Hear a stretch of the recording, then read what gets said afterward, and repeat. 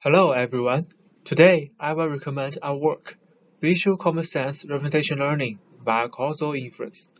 In this paper, we propose a novel unsupervised feature representation learning method, VCRCNN, to serve as an improved visual region common sense encoder for high-level downstream tasks.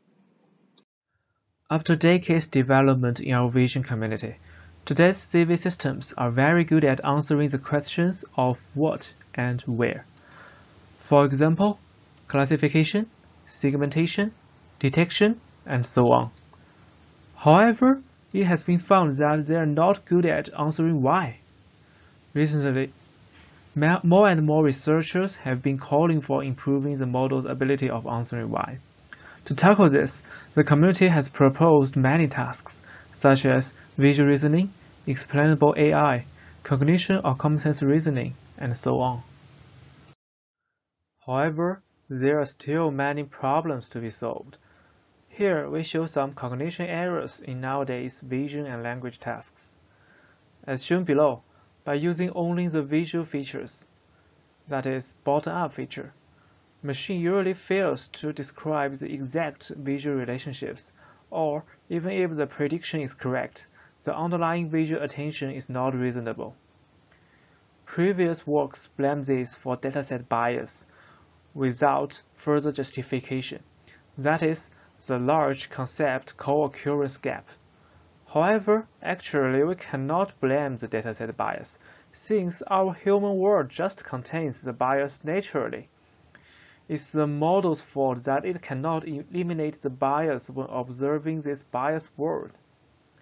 Our machine needs common sense to try to correct this bias in observation. So, how do we learn visual common sense? In this paper, we use the causal intervention theory to find the key reason behind the bias confounder. Here, we give a brief introduction. Our visual world exists many confounders Z that affects either x or y, leading to spurious correlations by only learning from the likelihood p y gun x. Here, nodes denote variables and errors denote the causal effects. The intervention can be regarded as a graph surgery that cuts off errors from z to x to eliminate the effect from confounders.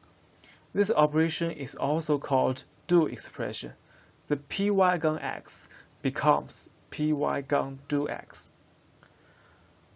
Then, does our CV community also have confounders?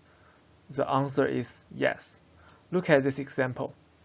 Since the sink and hairdryer co-occur regularly in the dataset, the passive observation py gun x is high.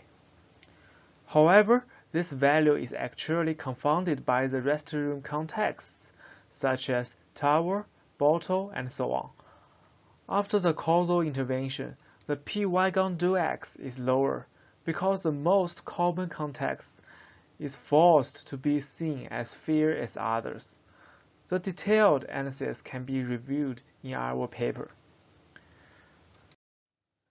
Based on this motivation, we designed the unsupervised representation learning model, Visual Common Sense RCNN, VCRCNN, which uses RCNN as the vision backbone and the causal intervention as the training objective.